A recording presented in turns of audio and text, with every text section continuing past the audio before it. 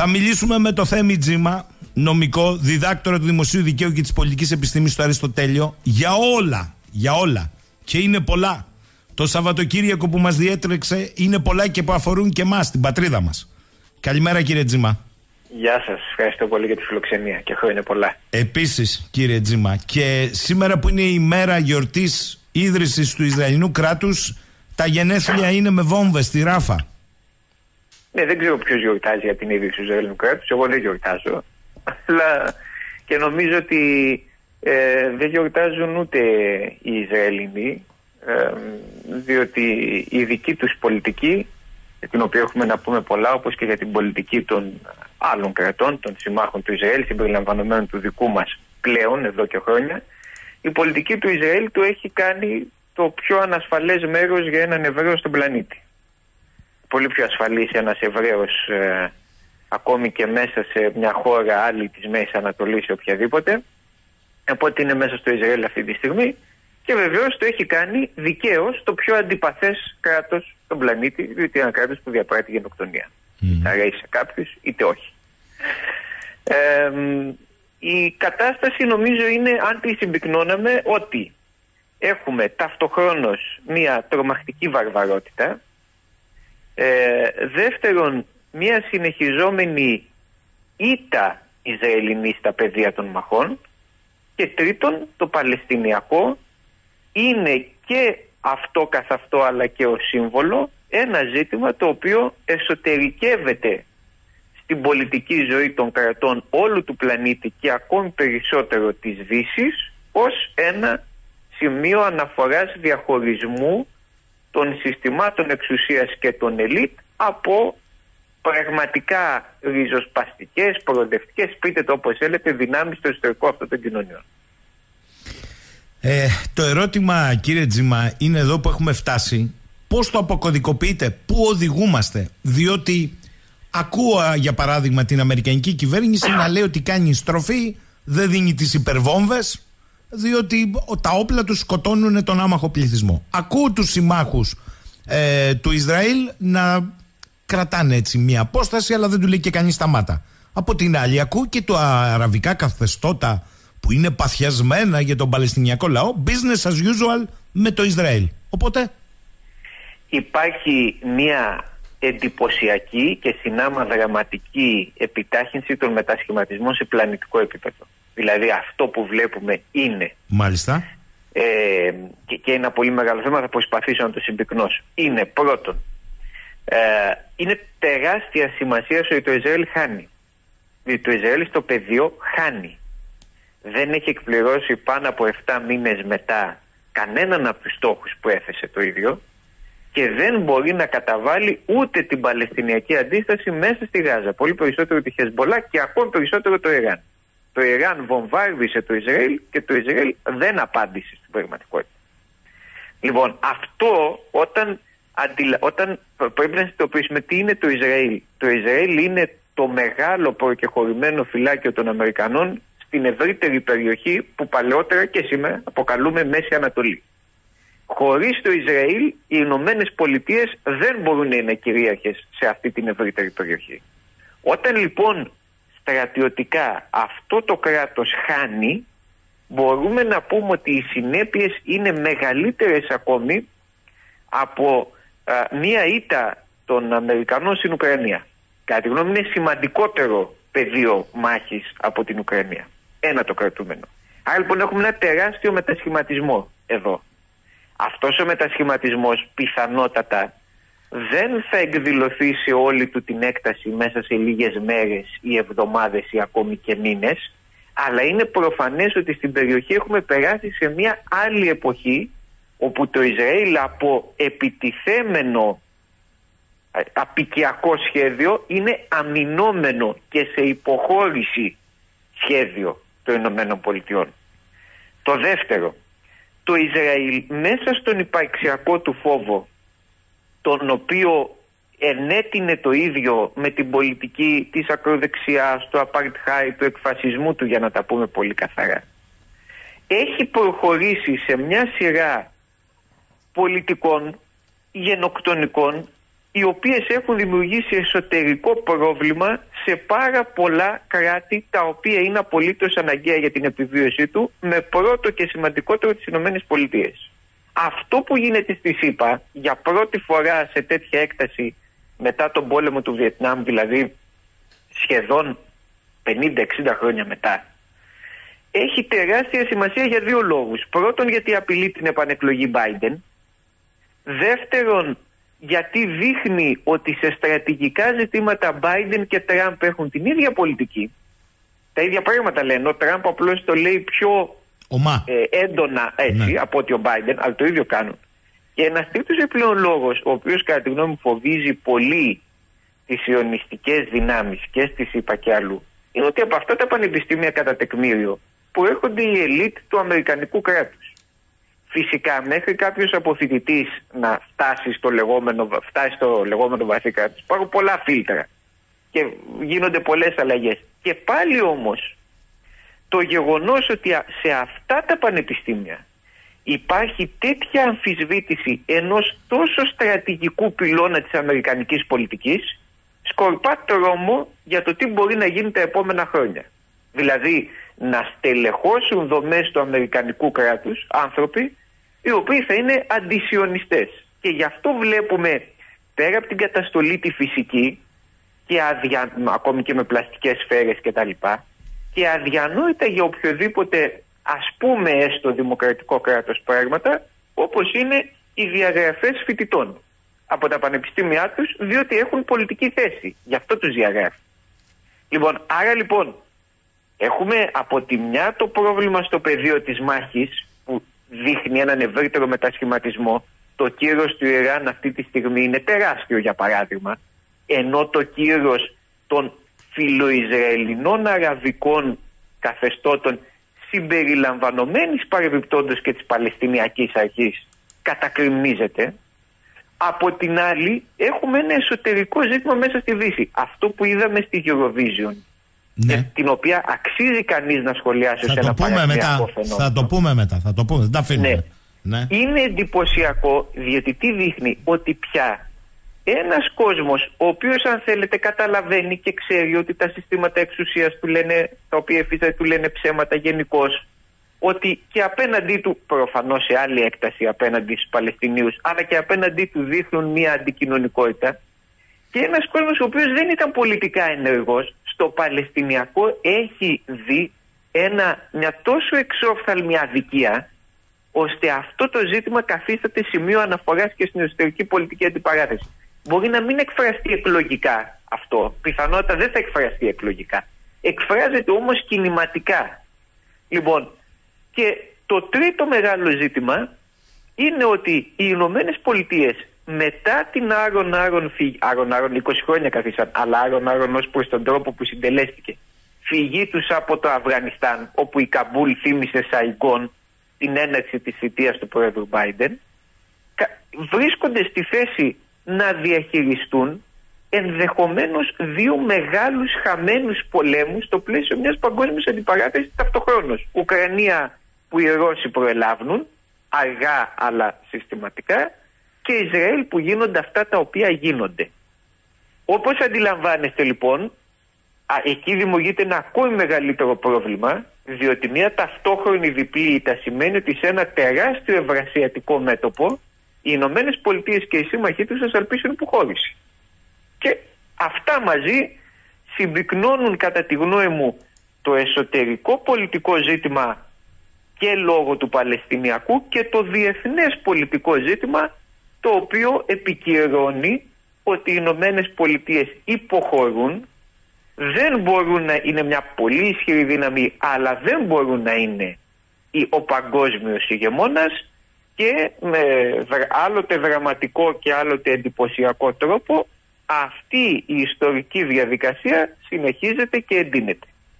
Θέλω να σας ρωτήσω παρόλα αυτά ε, και καλά κάνατε και δώσατε και τα μικρά και τα μεγάλα κάδρα στο θέμα αυτό. Όμως θέλω να σας ρωτήσω η στάση όλων των μεγάλων παικτών ισχύως αλλά και των περιφερειακών είναι ομή, είναι κοινική. Δηλαδή λέμε αυτά για τον Αμερικανικό παράγοντα. Επί της ουσίας και ο κινέζικος και ο ρωσικός παράγοντας επί του θέματος δεν κουνάνε το δακτυλάκι τους.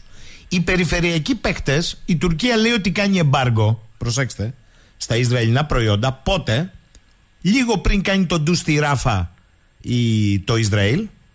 Άρα θα μπορούσε κανείς να πει ότι το κάνει για υποκριτικούς λόγους, γιατί την ίδια ώρα εξακολουθούν καύσιμα παρά το εμπάργκο να φτάνουν στο Ισραήλ. Να μην πω για τα αραβικά ε, καθεστώτα και το πώς συναλλάσσονται. Ακόμη και η Αίγυπτος περιορίζεται σε κάποιες διακηρύξεις του τύπου ότι εδώ είναι μια μεγάλη ανθρωπιστική καταστροφή και είναι στα σύνορά της αυτό που συμβαίνει. Ναι. Η Ρωσία και η Κίνα, οι οποίες διπλωματικώς έχουν πάρει αρκετά προχωρημένες θέσεις για τα δικά τους δεδομένα υπέρ των Παλαιστινίων, κατά τη γνώμη μου δρούν κυρίως μέσω του Ιράν. Έως σχεδόν αποκλειστικός μέσω του Ιράν. Ο μεγάλος παράγοντας στην περιοχή ε, έχει αναδειχθεί πια ότι είναι η Τεχεράνη. Και ένας παράγοντας πάρα πολύ σημαντικός και για τη Ρωσία και για την Κίνα και για το όποιο ευρασιατικό σχέδιο έχουν. Άρα στην πραγματικότητα εκεί κατά τη γνώμη μου, χωρίς να σημαίνει αυτό ότι το Ιράν είναι μαριονέτα της Ρωσίας ή της Κίνα, σε καμία περίπτωση. Αλλά δρούν κατά τη γνώμη μου μέσα από μια συνεννόηση μέσω του Ιράν. Με πολλούς τρόπους. Η Τουρκία, σε αντίθεση με αυτό που η εγχώρια προπαγάνδα συστηματικά και επί χρόνια λέει και δυστυχώς πολύ λίγοι τολμούσαμε να πούμε ότι είναι προπαγάνδα και ψέμα αυτό το πράγμα. Η Τουρκία είναι ασήμαντος παίχτης στο Παλαιστινιακό έχει επενδύσει κάποια λεφτά, είχε κάποιες σχέσεις με τη Χαμάς, πράγματι διπλωματικές κτλ. Όσο η Χαμάς είχε αποστασιοποιηθεί από το λεγόμενο άξονα της αντίστασης και ήταν με την αντιπολίτευση, την ένοπλη εναντίον του Άσαντ στη Συρία, η Τουρκία με τη Χαμάς είχαν ακόμη πιο στενές σχέσεις. Σε εκείνη τη φάση δεν πρέπει να ξεχνούμε ότι η Χαμάς είχε βρεθεί αντικειμενικός στην ίδια πλευρά με την Τουρκία και με τη Δύση στο Συριακό μέτωπο. Αλλά πολύ γρήγορα ή τέλος πάντων αρκετά γρήγορα κατάλαβε ότι αυτή τη η επιλογή ήταν καταστροφική και άλλαξε ξανά πλευρά. Λοιπόν, η Τουρκία όμως στην πραγματικότητα και οικονομικά και διπλωματικά και στρατιωτικά είναι ανύπαρκτη στο Παλαιστινιακό. Θα λέω πάντα ότι η Ελλάδα του 80 είχε πολύ πολύ μεγαλύτερη σημασία για το Παλαιστινιακό από ότι η Τουρκία του Ερντογάν σήμερα. Και είναι επίσης γνωστό ότι το Ιράν εγκάλεσε με πολλούς τρόπους και οριακούς ακόμη τρόπους. Υπήρχαν αφήσεις εναντίον του Ερντογάν στους δρόμους της Τεχεράνης για το ρόλο του στο, Παλαιστινιακό που του λέγανε στο Αζερβαϊτζάν στέλνεις drones και στους Παλαιστινίους στέλνεις προσευχές. Λοιπόν, το δε εμπάργκο, όπως πολύ σωστά είπατε, η διακοπή των εμπορικών σχέσεων, η υποτιθέμενη μεταξύ Τουρκίας και Ισραήλ, για την οποία πραγματικά δεν ξέρουμε κατά πόσο ισχύει, φαίνεται ότι απλώς δίνει ένα καπέλο στους Τούρκους μεταφορείς διότι πηγαίνουν μέσω τρίτων χωρών. Εκεί που έχετε δίκιο είναι ότι έχουν πολύ σοβαρό πρόβλημα τα αραβικά καθεστώτα τα οποία είναι φίλο Ισραηλινά στην πραγματικότητα. Η Ορδανία έχει μεγάλο ζήτημα ε, και φαίνεται ότι γίνονται και κάποιες κινήσεις μέσα στην Ιορδανία με μεταφορές όπλων προς αντιστασιακές δυνάμεις οι οποίες όμως δεν εκδηλώνονται εναντίον του, του, του βασιλιά, εναντίον του καθεστώτος και έχει πρόβλημα και η Αίγυπτος η οποία κανονικά εφόσον το Ισραήλ καταλαμβάνει περιοχές στα σύνορα Γάζας Αιγύπτου θα πρέπει να αποσυρθεί από τις συμφωνίες ειρήνης με το Ισραήλ. Διότι παραβαίνει αυτές τις συμφωνίες ειρήνης στο Ισραήλ. Η Αίγυπτος δεν τολμά να το κάνει αυτό. Έχουμε δε δύο περιστατικά σημαντικά τα οποία λανθάνουν τις προσοχής μας. Το ένα είναι μάλλον μία απόπειρα δολοφονική εναντίον του διαδόχου του Σαουδαραβικού θρόνου πριν από περίπου 8-10 μέρες η οποία θαύτηκε γρήγορα. Και το δεύτερο είναι μια δολοφονία ενός Ισραηλινού επιχειρηματία Παύλα μάλλον πράκτορα της Μοσάντ στην Αλεξάνδρεια, έχει κυκλοφορήσει και το βίντεο, από μια νεοεμφανιζόμενη οργάνωση, η οποία τον εκτέλεσε μέσα στο αυτοκίνητό του. Θέλω να πω ότι δυνάμεις κινούνται. Τώρα, ποιες ακριβώς είναι, τι ακριβώς θέλουν, δεν μπορούμε να ξέρουμε. Όμως είναι σίγουρο ότι όσο συνεχίζεται η αντίσταση και η γενοκτονία τα καθεστώτα αυτά θα μπαίνουν σε πορεία αποσταθεροποίησης σίγουρα Το πόσο μεγάλη θα αποδειχτεί αυτή η αποσταθεροποίηση μένει να φανεί, μπορεί και να καταπνιγεί. Και το δεύτερο είναι ότι η 7η Οκτωβρίου εξαφάνισε το διεθνοπολιτικό ρόλο της Τουρκίας σε σχέση με το Παλαιστινιακό και ο Ερντογάν το ξέρει. Κύριε Τζίμα, ε, πριν να αλλάξουμε ε, παραπλήσια, αλλά πριν να αλλάξουμε πίστα, έχω εδώ πολλά ερωτήματα που μου λένε πώς εξηγεί ο κύριος ε, Τζίμα το γεγονός ότι ένα μεγάλο τμήμα της κοινή γνώμης αισθάνεται ότι το Ισραήλ έχει υπαρξιακό θέμα και αν δεν κάνει κάτι θα το εξαφανίσουν. Ένα. Δύο. Άλλο τμήμα ερωτημάτων μου λέει Καλά, ο κύριος Τζίμας δεν βλέπει ότι το πρώτο θύμα της πολιτικής του κράτους του Ισραήλ είναι οι ίδιοι οι Ισραηλινοί οι οποίοι έχουν μπει σε ένα φαύλο κύκλο. Ναι, συμφωνώ και στα δύο. Αλλά οι Ισραηλινοί ψηφίζουν μέσα στο κράτος του Ισραήλ. Το μεγάλο μέρος της Ισραηλινής κοινωνίας μέχρι που κατάλαβε ότι η πολιτική τους οποίους εξέλεξε το ίδιο αυτό τμήμα θυσιάζουν Ισραηλινούς πολίτες ομήρους για να σώσουν το κεφάλι τους δεν είχε κανένα πρόβλημα με τον Νετανιάχου εξέλεγε και ξαναεξέλεγε Νετανιάχου και Μπεν Κουβίρ και τα λοιπά. Δεν είναι το πρώτο θύμα, είναι το δεύτερο θύμα. Το πρώτο θύμα είναι η Παλαιστίνη. Αλλά είναι και η Ισραηλινή κοινωνία θύμα του δηλητηρίου το οποίο μεγάλωσε στους κόλπους της. Ο Νετανιάχου δεν ήρθε από κάπου έξω από την Ισραηλινή κοινωνία και αυτό το λέω ως ένα μάθημα και για εμάς τους ίδιους. Δεν, δεν φυτεύτηκε ο Νετανιάχου, δεν είναι δικτάτορας.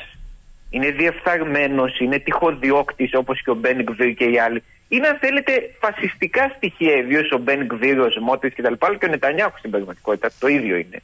Το, αλλά τους εξέλεξαν η Ισραηλινή κοινωνία δεν έδειχνε κανένα ενδιαφέρον για τους Παλαιστινίους έως ότου μάτωσε η ίδια η κοινωνία αυτή από την πολιτική που εφαρμόζει η ίδια κοινωνία επαναλαμβάνω. Σε ό,τι αφορά το υπαρξιακό ζήτημα του Ισραήλ, φυσικά και το Ισραήλ έχει υπαρξιακό ζήτημα. Και δεν μπορεί να μην έχει. Διότι το Ισραήλ είναι ένα απικιακό σχέδιο στην καρδιά της Μέσης Ανατολής. Και προσέξτε, ακούστε τους αντισιωνιστές Εβραίους είτε υπερορθόδοξους, είτε κοσμικούς, είτε αριστερούς, είτε δεξιούς ένα μεγάλο μέρος το οποίο οι σιωνιστές και το κράτος του Ισραήλ έχουν φροντίσει να φημώσουν. Μιλάει με πολύ μεγάλη επειδή ακριβώς οι άνθρωποι είναι και Εβραίοι έχουν ακόμη μεγαλύτερη άνεση να μιλήσουν και να εξηγήσουν ποιες είναι οι, οι πολιτικές που υλοποιεί το κράτος του Ισραήλ. Όχι μόνο τώρα και παλιότερα, αλλά ιδίως ακόμη περισσότερο τα τελευταία χρόνια. Ε, επόμενο είναι ότι ένα απικιακό σχέδιο, όσο ισχυρό και αν φαντάζει, κάποια στιγμή θα αντιμετωπίσει υπαρξιακό ζήτημα και θα εκριζωθεί από την περιοχή στην οποία φυτεύτηκε. Το πάθαν οι Γάλλοι στην Αλγερία, το πάθαν οι Βέλγοι, το πάθαν οι Εγγλέζοι. Είναι μοιραίο να γίνει και στην περίπτωση του Ισραήλ. Πάμε σας παρακαλώ πολύ για λίγο στη Eurovision. Ναι. Δηλαδή αυτό που όλοι το έλεγαν τόσα χρόνια πανηγυράκι είχε ε, ένθεν κακήθεν πολιτικό ε, περιεχόμενο και νομίζω ότι στο τέλος η συζήτησης εξαιτίας του ότι εξετράπει επικινδύνος για το όποιο σύστημα ε, ήρθε στα ίσα της μιλώντας με τη walk agenda. Εγώ θα το πω ναι. έτσι. Ε, αυτό κατάλαβα εγώ στο διήμερο. Συμφωνώ απολύτως. Η Eurovision όπως και κάθε γεγονός μπάσκετ, ποδόσφαιρο, βόλεϊ, διαγωνισμός μουσικής, δεν μπορεί παρά να είναι πολιτικό γεγονός. Και πολιτικό γεγονός, αν θέλετε. Πάντα ήταν. Όταν παραδείγματος χάρη κάνει την επιλογή να αποκλείσεις από το ποδόσφαιρο, το μπάσκετ, το δεν ξέρω τι, το, τη Eurovision, τη Ρωσία, κάνεις μια πολιτική δήλωση. Όταν επιλέγεις να υποστηρίξεις, όχι απλώς να επιτρέψεις, να υποστηρίξεις με όλους αυτούς τους τρόπους που είπατε, κλείνοντας τα μικρόφωνα, για να μην ακούγονται τα γιουχαίσματα, βάζοντας ψεύτικα χειροκροτήματα λοιπά το Ισραήλ, κάνεις μια πολιτική δήλωση. Λοιπόν, η woke agenda ή η ατζέντα αυτού του ταυτοτικού δικαιωματισμού, το λέω πολλές φορές, το ίδιο πράγμα είναι περίπου, είναι επίσης μια πολιτική ατζέντα. Είναι μια ατζέντα η οποία λέει το άτομο πρέπει να είναι ό,τι δηλώσει, στο φαντασιακό επίπεδο να είναι πανίσχυρο η κοινωνία και οι συλλογικότητες πρέπει να α, συρρυκνωθούν έως εξαφανίσεως. Μπορώ να είμαι στο φαντασιακό μου και λόγω αυτού του πράγματος και στο δημόσιο λόγο μου να απαιτώ να με αναγνωρίζουν σε κάθε δεδομένη στιγμή ως ό,τι σκέφτομαι εγώ εκείνη τη στιγμή ότι είμαι άντρας, γυναίκα, ουδέτερο, άφιλο, ε, 50 χρόνων, 40 χρόνων, 30, ναι, μεικτό, άνθρωπος, ναι, ναι. μη άνθρωπος, οτιδήποτε. Επειδή βεβαίως, γιατί κανείς θα έλεγε και τι πειράζει ρε παιδιά αυτό, εντάξει, πείτε έναν άνθρωπο ουδέτερο, θα πάθετε τίποτα. Όχι. Η συνέπεια ποια είναι; Ότι όσο ένα φαντασιακά πανίσχυρο άτομο επιβάλλεται πάνω σε κάθε κοινωνική συλλογικότητα, στην πραγματική ζωή και λήψη συλλογικοτήτων ισχυρών, δηλαδή τάξεων, εθνών, λαών, η συντριπτική πλειοψηφία των ατόμων συντρίβεται. Διότι έχουμε ξεχάσει πως η συντριπτική πλειοψηφία ανάμεσά μας δεν είναι ό,τι νομίζει ότι είναι. Στην πραγματικότητα κανείς ανάμεσά μας, απλώς κάποιοι έχουν αρκετά λεφτά ώστε κατά κάποιο τρόπο να το επιβάλλουν. Δεν είμαστε ό,τι νομίζουμε ότι είμαστε είμαστε ό,τι όντως είμαστε στην ηλική ζωή με βάση τις σχέσεις παραγωγής, δηλαδή την κοινωνική μας τάξη, με βάση το έθνος μας, με βάση την πόλη αν θέλετε που κατοικούμε, την οικογένεια στην οποία ζούμε κτλ. Όταν σε διαφόρους ανθρώπους και πολλούς δημιουργούμε την πεποίθηση ότι μπορούν να είναι ό,τι νομίζουν ότι είναι, τους οδηγούμε στη συντριβή διότι βγαίνουν στην πραγματική ζωή και καταλαβαίνουν ότι είτε δηλώνεις ο ή το, αν είσαι εργάτη, θα είσαι κάτω από ένα αφεντικό που θα σε πατάει. Εάν δεν είσαι εκεί σε λεφτάς, θα πατάς τους πάντες με την ατζέντα σου. Μάλιστα. Πέραν όμως αυτού που είναι το μείζον, διότι η woke ατζέντα δεν είναι μια έστω εκφυλισμένη αριστερή ατζέντα. Είναι μια καθαρά νεοφιλελεύθερη ατζέντα πρώτον, είναι στην καρδιά του νεοφιλελευθερισμού, απλώς εμφανίζεται ως προοδευτική, η οποία είναι και βαθιά πουριτανική. Δεν πρέπει να ξεχνούμε ότι αυτό που επιφυλάσσει για τη μεγάλη πλειοψηφία των ανθρώπων είναι ένας αυστηρότατος έλεγχος, εντελώς πουριτανικός της προσωπικής, όχι μόνο της ευρύτερα κοινωνικής δημόσιας συμπεριφοράς του, αλλά και τη συμπεριφοράς ακόμη και στο φλερ και στην επικοινωνία με το άλλο φίλο κτλ. Είναι, μια, είναι ένα ρεύμα επίσης το οποίο διαλύει κάθε συνεκτικό κώδικα επικοινωνίας. Ξέρετε, τα φύλλα είναι δύο γιατί προσδιορίζονται με βιολογικούς όρους. Αυτό σημαίνει φύλλο. Και επειδή είναι δύο και προσδιορίζονται με βιολογικούς όρους αρχικώς, μετά μπορούν να έχουν και κοινωνική διάσταση. Να μιλήσουμε για ισότητα των φύλων, για σεβασμό κτλ. κτλ αν η έννοια φίλο σταματήσει να σημαίνει οτιδήποτε διότι είμαι, διεκδικώ να είμαι ό,τι φίλο νομίζω εγώ ότι είμαι ανθρώπινο, μη ανθρώπινο, ο ή το κτλ. Και σε όποια στιγμή της ζωής μου παθαίνουμε το εξής. Χάνουμε ένα σταθερό κώδικα επικοινωνίας ε, λέμε φίλο αλλά εννοούμε κάτι άλλο. Άλλος εννοεί τη σεξουαλική του συμπεριφορά, άλλος εννοεί τη φαντασίωσή του, άλλος στη βιολογία του, άλλος στην κοινωνικό του ρόλο. Και μην μπορώντα να συνεννοηθούμε, γιατί οι λέξεις πάβουν να έχουν, το, να έχουν περιεχόμενο σταθερό. Αυτό είναι το βασικό, αυτό είναι το κόλπο Ακριβώς. Ναι, ναι. Δεν μπορούμε να συνεπάρξουμε, δεν μπορούμε να οργανωθούμε και κατ' ουσίαν δεν μπορούμε ούτε και να διεκδικήσουμε με ενοχλητικό τρόπο για το σύστημα εξουσίας. Αυτό δεν είναι ατύχημα, είναι σχεδιασμός. Και δίπλα σε αυτόν υπάρχει και μια αισθητική η οποία είναι κακοποιητική για τον ίδιο το σκοπό του, τον υποτιθέμενο αυτού του φεστιβάλ. Διότι τι ξέρουμε, αλλά και αυτό είναι ένα πολιτικό ζήτημα, που πάλι καταστρέφει τους κώδικες επικοινωνίας. Ξέρουμε ότι τραγούδι είναι στίχος, μουσική, φωνή. Το τραγούδι δεν είναι η γύμνια, αυτό είναι ένα άλλο. Είναι show. Είναι performance. Βγαίνω γυμνός, βγαίνω ντυμένος ή οτιδήποτε άλλο.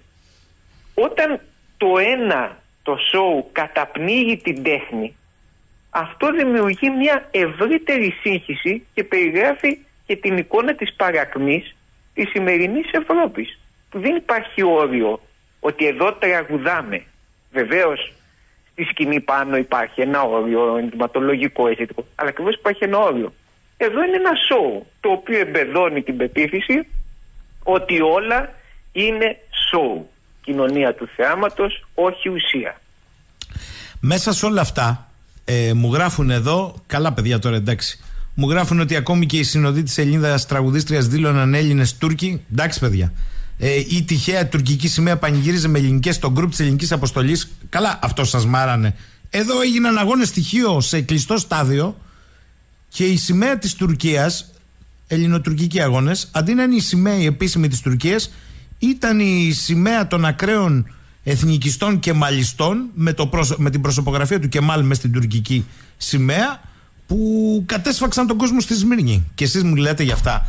Για ελάτε κύριε Τζιμά να έρθω στα καθημάς. Τι να, τι, τι να πιάσεις; Εδώ είναι απογοήτευση. Λοιπόν, θα ξεκινήσω με τη συμφωνία των Πρεσπών που δεν ξέρω τελικά πού βρισκόμαστε διότι τη σχιζοφρένειά μου που λένε. Η, ο yeah. Ναι. πρόεδρος της απερχόμενης βουλής της γειτονικής χώρας και ο απερχόμενος Υπουργός Δικαιοσύνης ανακαλούν στην τάξη την νεοεκλεγήσα πρόεδρο της γειτονικής χώρας γιατί είπε ότι ορκίζει το Σύνταγμα της Μακεδονίας, πενθυμίζοντάς της ότι είναι άκυρη η ορκομοσία της, πρέπει να ορκιστεί στο Σύνταγμα της Βόρειου Μακεδονίας. Η ναι, ελληνική κυβέρνηση λέει, ανακαλεί στην τάξη και ότι είναι απαράδεκτες οι κινήσεις της νέας Προέδρου. Πρέπει να πει Βόρεια Μακεδονία. Και η κυρία Ντελάιεν το θυμήθηκε. Τελικά. Ναι. Και τι θα κάνει η ελληνική κυβέρνηση λοιπόν; Η, η κυρία Φόντερ Λάιεν τι θα κάνουν; Ωραία, είπαμε ότι είναι απαράδεκτο. Και πάμε παρακάτω τώρα. Κοιτάξτε, η συμφωνία των Πρεσπών, κατά τη γνώμη μου, και νομίζω καταλαβαίνόμαστε όλοι για να μην κοροϊδευόμαστε, έχει επιτελέσει και επιτελεί στο 100% το σκοπό της.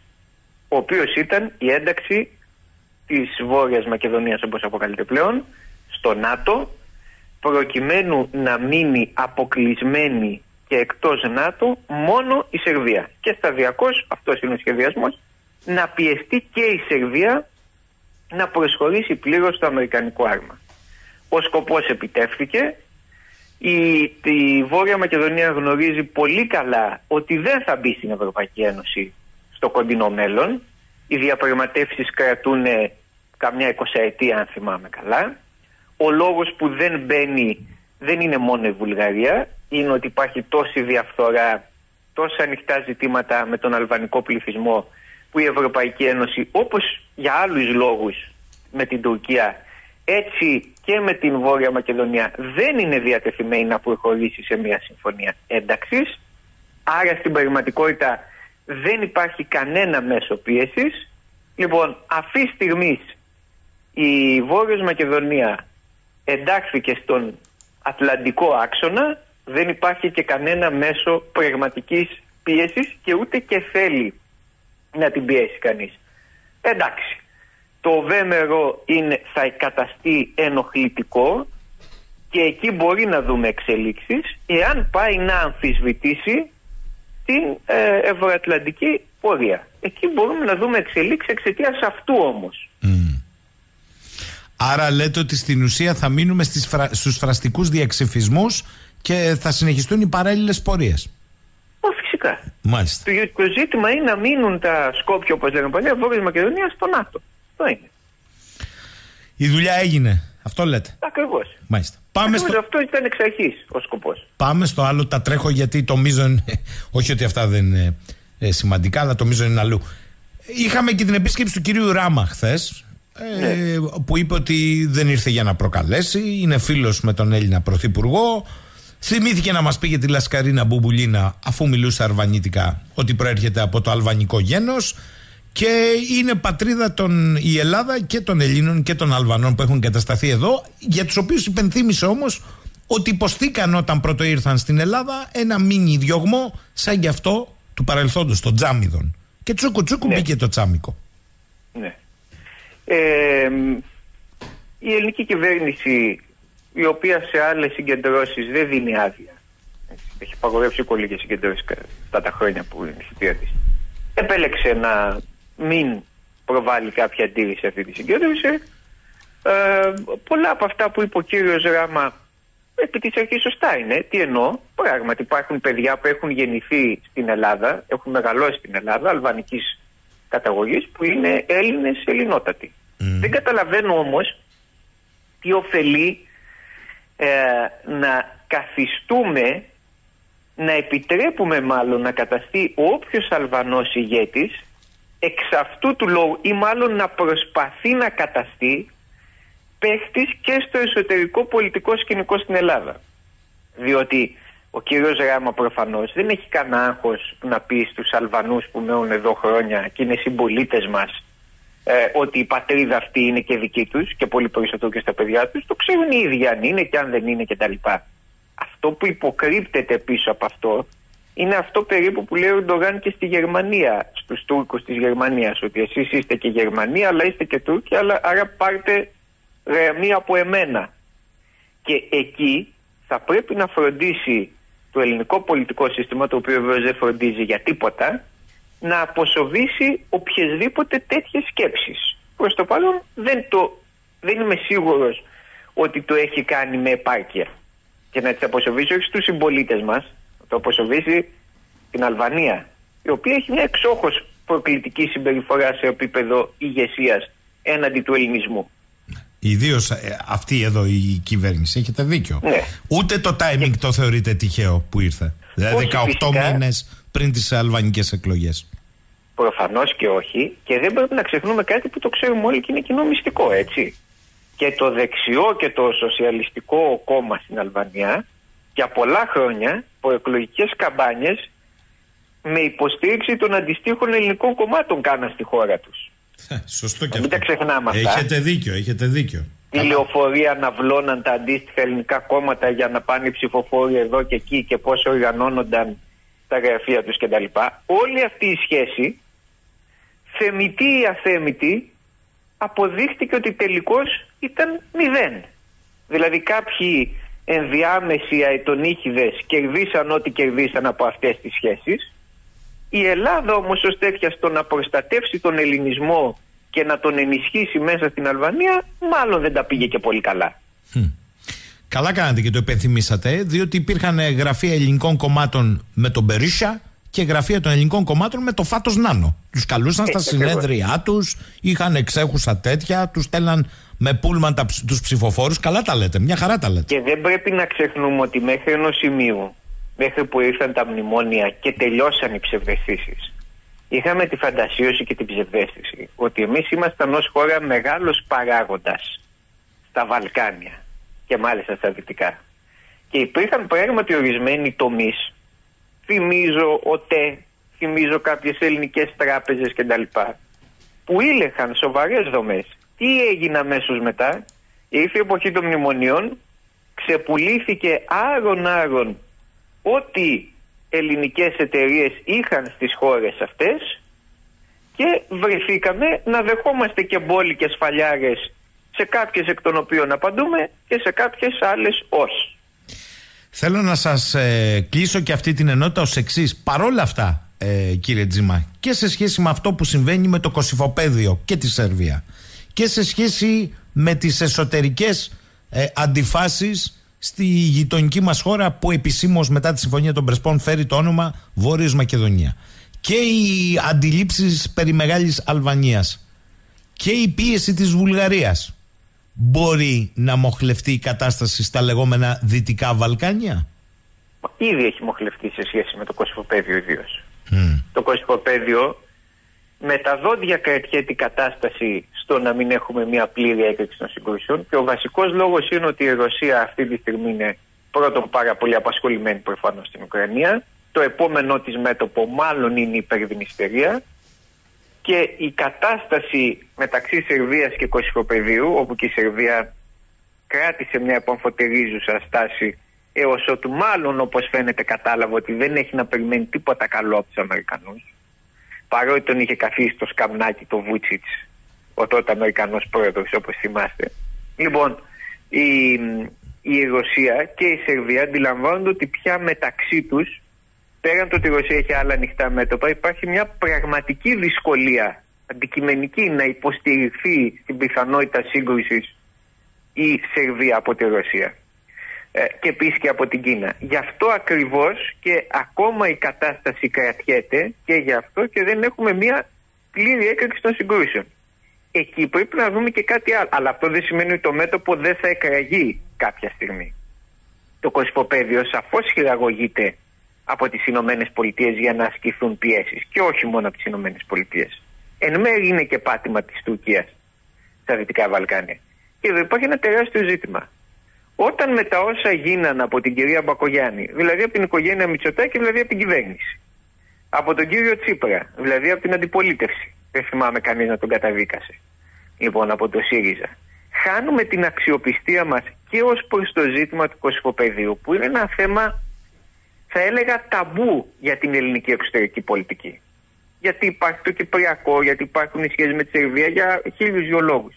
Όταν ακόμη και εκεί είσαι αναξιόπιστος ποιος, ακόμη και αν αλλάξει η πολιτική κατάσταση στην Ελλάδα και έχει μια άλλη κυβέρνηση, θα δεχτεί να συνομιλήσει με όρους αξιοπιστίας με την ελληνική διπλωματία. Δεν υπάρχει καμία περίπτωση. Δηλαδή η καταστροφή που συντελείται, η αναξιοπιστία μας έναντι όλων των παραδοσιακών σχέσεων που είχαμε, μα όλων πλην των Αμερικανών προφανώς. Είναι εντυπωσιακή το τι έχει γκρεμιστεί αυτά τα τελευταία 10-15 χρόνια. Πάμε και στο θέμα της ημέρας. Σε λίγες ώρες ο Έλληνας Πρωθυπουργός θα προσγειωθεί στην Άγκυρα. Και μας προϋπάντησαν για αυτή τη συνάντηση δύο συνεντεύξεις. Μία στην καθημερινή του Ερντογάν, μία στη Μιλιέτ του Μητσοτάκη. Ο Ερντογάν μας είπε ότι δεν είναι και τόσο μεγάλο πρόβλημα η αφισβήτηση της ελληνικής κυριαρχίας και ότι μπορούμε να συζητάμε με ενεργεία ακόμη και την απειλή πολέμου. Αλλά μπορούμε να συζητάμε. Και ο Έλληνας Πρωθυπουργός είπε ότι δεν μπορούμε να συνεχίσουμε με το δάκτυλο σκανδάλι. Ξέρουμε ποιες είναι οι πραγματικά μεγάλες διαφορές και οι κόκκινες γραμμές. Μπορούμε όμως να μιλάμε. Στην πραγματικότητα όμως, πίσω από τις κουίντες, τι πιστεύετε ότι συμβαίνει; Νομίζω ότι αυτό που είπαν περιγράφει την παρούσα κατάσταση. Οι διαφορές είναι εκεί και όταν λέμε διαφορές να είμαστε πολύ σαφείς τι εννοούμε η αναθεωρητική τουρκική πολιτική είναι εκεί, γιατί η Ελλάδα δεν προβάλλει και τίποτα. Σε τέτοια θέση αδυναμίας δηλαδή που και να ήθελε, α και δεν θέλει. Η τουρκική αναθεωρητική πολιτική είναι εκεί, αλλά η γραμμή από την Ουάσιγκτον, η οποία περνάει απολύτως στην Ελλάδα, είναι ησυχία. Έχουμε Ρωσία, έχουμε Μέση Ανατολή, στο Αιγαίο, ό,τι και να γίνει τα νερά πρέπει να είναι ήρεμα. Εμείς λέμε ευχαριστούμε πολύ θα κάνουμε ότι δεν ακούμε τι λέει η Τουρκία, θα κάνουμε ότι δεν υπάρχει μέλλον που ο συσχετισμός μπορεί να αλλάξει. Και είναι πολύ πιθανό ότι θα αλλάξει.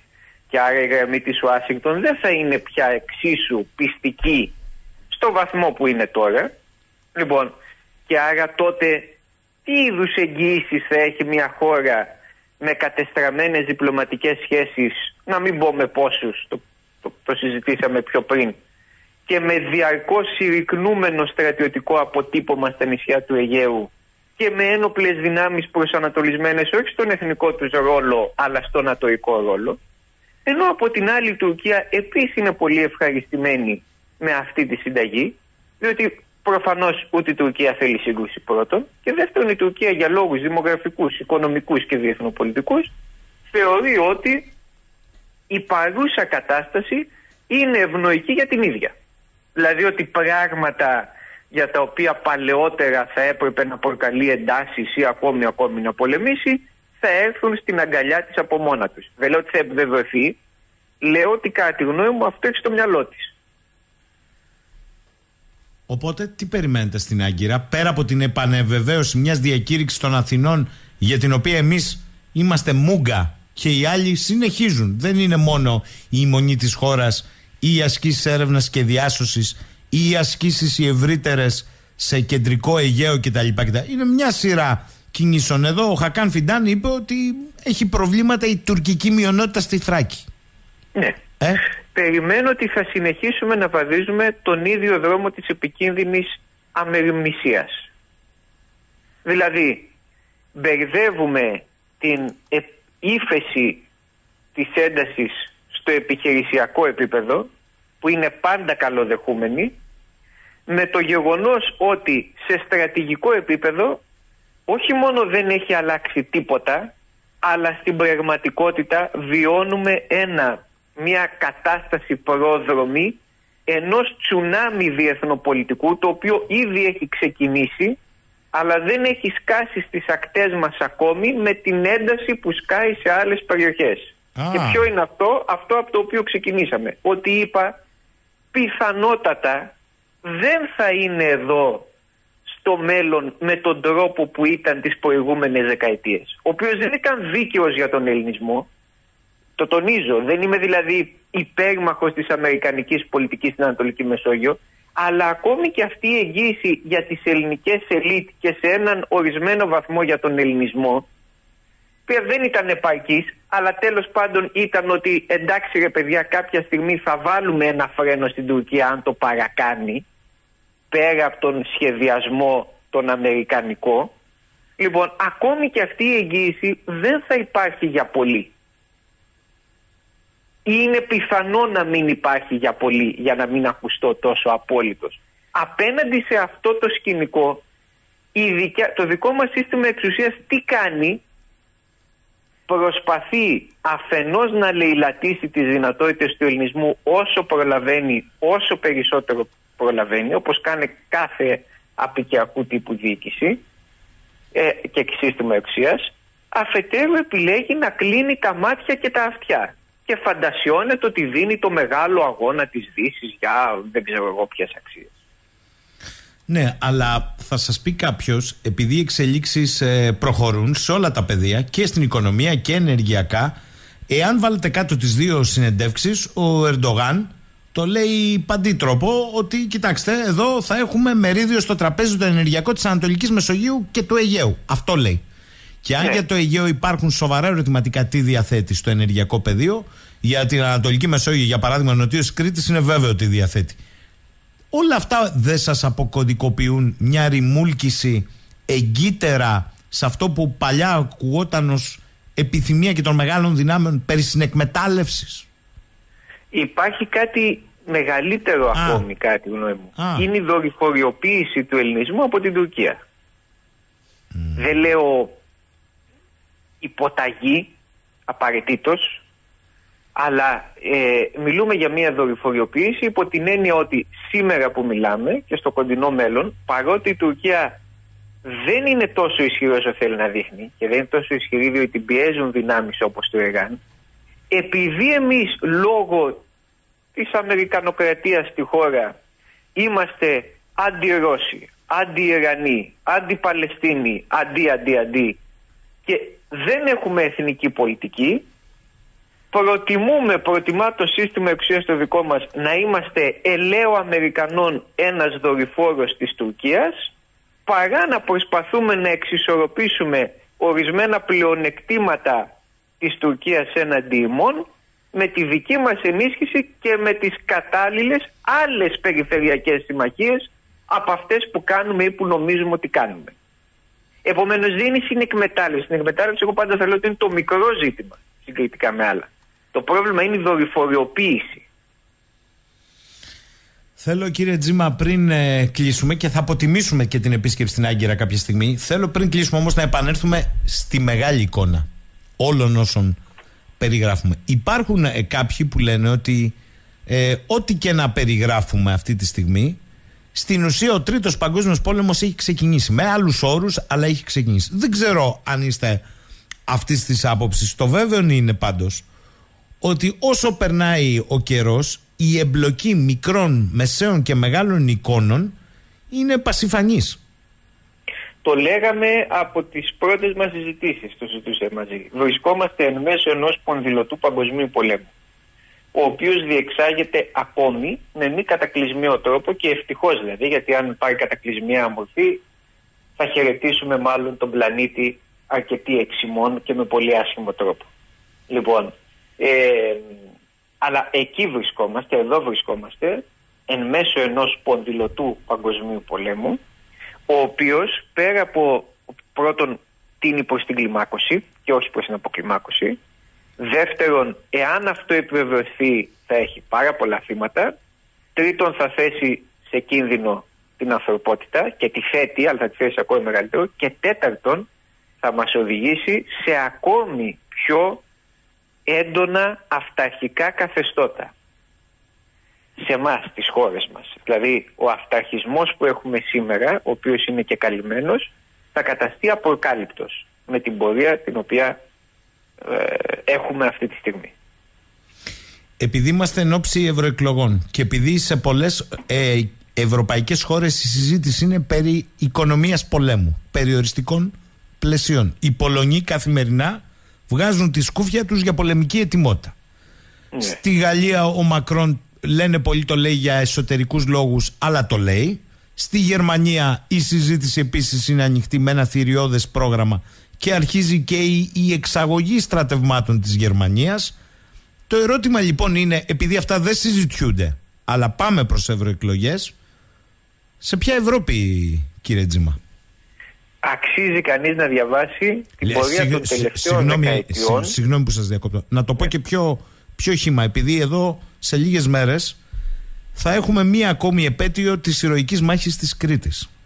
Ναι. Και μου έλεγε ένας ε, ηλικιωμένος Ηρακλειώτης, ρε παιδί μου λέει, η Ναζί και η ναζιστική Γερμανία απέτυχε.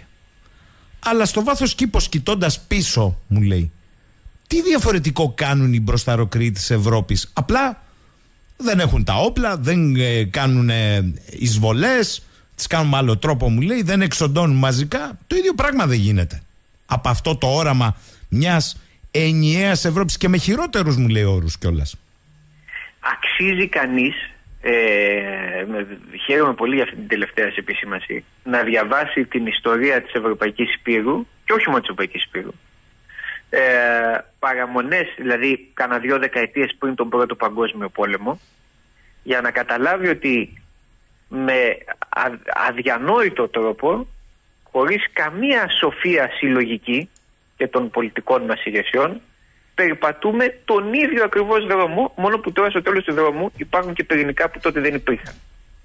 Και εάν αποφύγουμε αυτόν τον κίνδυνο, για τον οποίο δεν είμαι σίγουρος, είτε μιλούμε για μικρά πυρηνικά είτε για μεγαλύτερα, γιατί είμαι σίγουρος πια τουλάχιστον, ε, στην το μετέπειτα μιας τέτοιας κατακλυσμίας σύγκρουσης υπάρχουν πάντα δύο φαινόμενα. Το ένα είναι η αντίδραση και το άλλο είναι η επανάσταση. Ε, φυσικά η ιστορία δεν επαναλαμβάνεται με τον ίδιο τρόπο, δεν θα διαφωνήσω καθόλου με τη γνωστή αυτή ρίση.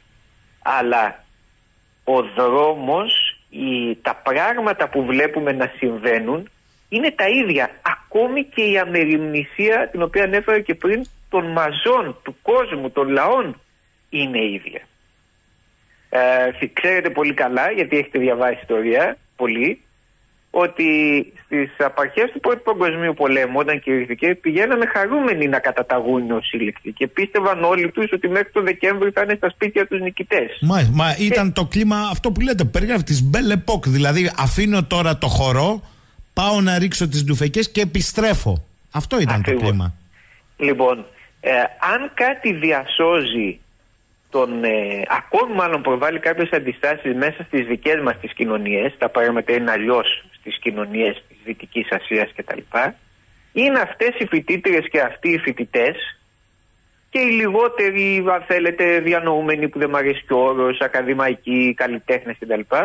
που τολμούν ακόμα να σηκώσουν μια φωνή αντίστασης και να προκαλέσουν ένα ορισμένο πολιτικό κόστος. Αυτό είναι και το μοναδικό αισιόδοξο πράγμα. Κατά τα λοιπά βαδίζουμε τον ίδιο καταστροφικό δρόμο. Όλα αυτά δε περί πολεμικών οικονομιών, πέρα από πολύ καλή ρεμούλα διεθνούς κλίμακας, θα αποδειχτούν ε, μια κομικοτραγική καταστροφή για τις οικονομίες μας. Και έχει σημασία να το ζητήσουμε, δεν, ξέρω, δεν νομίζω ότι προλαβαίνουμε τώρα, αλλά θα αποδειχθεί πραγματική καταστροφή. Με νεοφιλελεύθερο management, με τρομακτική αδιαφάνεια, με αδύναμες ασθενείς εφοδιαστικές αλυσίδες, να προσπαθήσει με καταναλωτικές οικονομίες, σε καταναλωτικές οικονομίες, να προσπαθήσεις να φτιάξεις πολεμική οικονομία. Ναι. Κούνια που τους κούναγε. Πολύ περισσότερο σε χώρες όπως η Ελλάδα που πια έχουν απαρφανιστεί από τον παραγωγικό τους τομέα. Δεν παράγουν. Πρέπει πρώτα να μάθουν να ξανασυστηθούν με την παραγωγή δηλαδή και σε, όχι μόνο σαν την Ελλάδα, αλλά και σε οικονομίες όπως η Γαλλία, η Ιταλία κτλ, η Ισπανία, οι οποίες διαρκώς συρρυκνώνται εδώ και δεκαετίες και ιδίως από όταν υιοθετήθηκε το ευρώ, υπέρ της Γερμανίας, η οποία τώρα συρρυκνώνεται υπέρ των Ηνωμένων Πολιτειών. και με οικονομίες στις οποίες τεράστιοι, τε, τεράστιες, τεράστιες ποσότητες ενέργειας κατευθύνονται σε δραστηριότητες νέων τεχνολογιών, κάποιες εκ των οποίων είναι κοινωνικά επωφελείς και αρκετές εκ των οποίων δεν είναι καθόλου κοινωνικά επωφελείς σε μεγάλη κλίμακα, αλλά αφορούν αποκλειστικώς και μόνο το 1% της υπερπλούσιας ελίτ. Άρα κύριε Τζίμα λέτε ότι στην ουσία αυτό το αφήγημα ε, πυροβολάει τα πόδια της ίδιας, ε, του ίδιου του κοινωνικού ιστού ό,τι έχει απομείνει τέλος πάντων. Φυσικά και το βλέπουμε να συμβαίνει ήδη μετά από δυόμιση χρόνια πολέμου ε, στο Ουκρανικό μέτωπο. Ναι.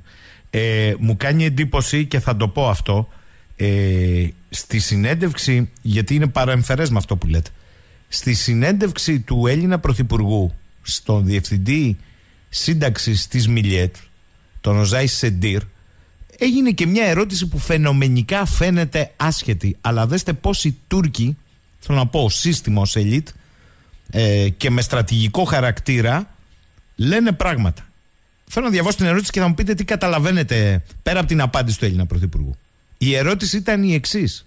Παλιότερα, λέει ο Τούρκος ε, Διευθυντής Σύνταξης, στον Πρωθυπουργό, έβρισκα σαγανάκι παντού στην Αθήνα. Αλλά τώρα όταν ναι. θέλω σαγανάκι, μπορώ να το βρω με μοτσαρέλα. Το απάντησε ο Πρωθυπουργός, ότι δεν ψάξατε καλά και ότι υπάρχουν καλά ελληνικά τυριά. Υπάρχουν. Αυτό είναι το ερώτημα. Γιατί οι Τούρκοι κάτι λένε με αυτόν τον τρόπο. Ακτινογραφούν και τον παραγωγικό ιστό της χώρας. Συμφωνώ. Ε, έχετε απόλυτο και την παρατήρησα και εγώ σε ερώτηση. Είναι, θα έλεγα, ε, πολύ ενδιαφέρον, σχεδόν στα όρια της απρέπειας. Με την έννοια πια, είναι μια πολύ χαριτωμένη φαινομενικός Αλλά δείτε τι ρωτάμε τον Τούρκο πρόεδρο, η αντίστοιχη συνέντευξη, η οποία είναι μια συνέντευξη επί τέλος πάντων ζητημάτων θεμελιωδών της πολιτικής. Από την πλευρά της Τουρκίας κλείνει, αν θυμάμαι καλά, είναι η τελευταία συνέντευξη του Τούρκου δημοσιογράφου. Είναι μια ερώτηση στον ηγέτη ενός τουριστικού προορισμού. Ε. Ήρθα ακριβά τα δωμάτια, ξέρω εγώ, ναι, δεν βρήκα ναι. το τυρί που ήθελα. Ναι, ναι, ναι. Τον καφέ που ήθελα. Τον καφέ ακριβώς, που ακριβώς. Ακόμη και από την ερώτηση υπάρχει μια συρρήκνωση του κύριου όχι του συγκεκριμένου προσώπου αλλά του θεσμού του Έλληνα Πρωθυπουργού. Και αυτό είναι συμβατό με την εικόνα που έχουμε φτιάξει εμείς για τη χώρα μας και τους εαυτούς μας. Διότι εμείς έχουμε πείσει ότι τι είμαστε, είμαστε οι τύποι που σου λέμε φέρε μας λεφτά και αγόρασε ό,τι θες όπου θες. Ο γνωστός μύθος ότι ο τουρισμός είναι βαριά βιομηχανία. Βαριά βιομηχανία είναι βαριά βιομηχανία. Παράγει σύνδετα βιομηχανικά προϊόντα. Ο τουρισμός είναι μια επικερδής υπηρεσία χαμηλής προστιθέμενης αξίας. Η, αλλά όταν εμείς οι ίδιοι θέλουμε να γίνουμε τα γκαρσόνια της Ευρώπης ή και της Τουρκίας ή και της Σαουδικής Αραβίας ή και όποιου έχει λεφτά, προφανώς ο άλλος το καταλαβαίνει και θα σε αντιμετωπίσει αναλόγως. Ο ελληνισμός χάνει το σεβασμό των λαών της περιοχής και για έναν αρχαίο λαό αυτό είναι αδιανόητη απρονοησία και αδιανόητο λάθος. Ε, κύριε Τζιμά, αυτό είναι το βαθύτερο που λέτε. Εγώ θα σας πω και κάτι πιο επιφωνιακό. Ο λεγόμενος αντίπαλος, γιατί αντίπαλος γεωπολιτικά είναι, μας αρέσει δεν μας αρέσει, και εννοώ το σύστημα, δεν εννοώ τους λαούς ποτέ, ε, σε έχει διαβάσει καλά. Θέλω να πω ότι η γερμανική κατασκοπία και αντικατασκοπία πριν εισβάλλουν τα γερμανικά στρατεύματα κατοχής στην Ελλάδα και μέρες που φτάσουμε πριν αρχίσει η επιχείρηση για την Κρήτη είχαν διαβάσει μέσω εμπορικών, αρχαιολογικών αντιπροσώπων, προξενικών αρχών, μορφωτικών ιδρυμάτων και υπαλλήλων σε εταιρείες άριστα την ελληνική οικονομία. Τα καπνά της, τα λάδια της, τους ε, θησαυρούς της, ποιες μονάδες είναι παραγωγικές που έχουμε πτώσει. Αυτό μου έβγαλε επιπλέον ότι οι Τουρκοί διαβάζουν καλά την ελληνική οικονομία. Φυσικά. Διότι ξέρετε, αυτό το, το λέει πολύ καλά ο Κονδύλης. Το έλεγε ο Κονδύλης. Ένα ευρώ, ε, δεν έλεγε τότε ευρώ, ε, μια δραχμή ΑΕΠ από τη μια και από την άλλη δεν έχουν την ίδια αξία.